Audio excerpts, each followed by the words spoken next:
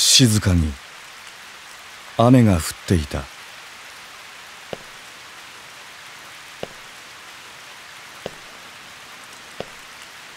あの日両親が死んだ。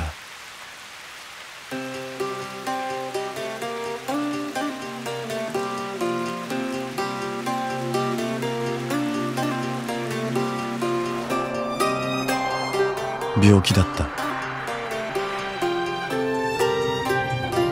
集まった大人たちは口々に悲しんではいけないと俺に言い思い出話と来世の期待を口にしていた。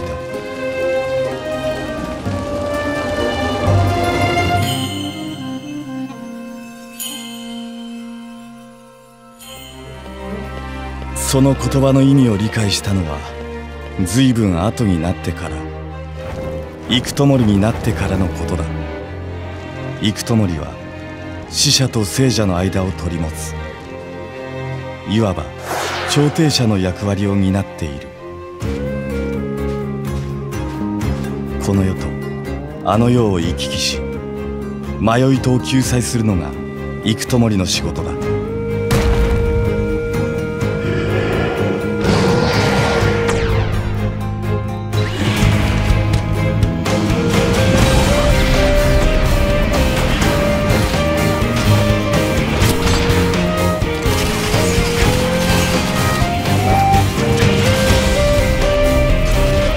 悲しんではいけない。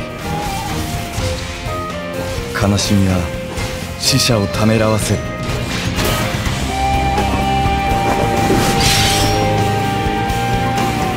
ためらえば迷い。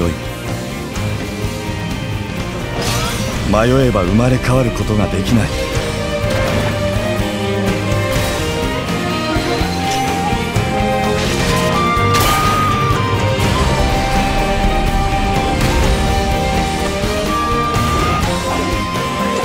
だから俺たち幾ともりは輪廻転生への祈りを込めて任務を全うする。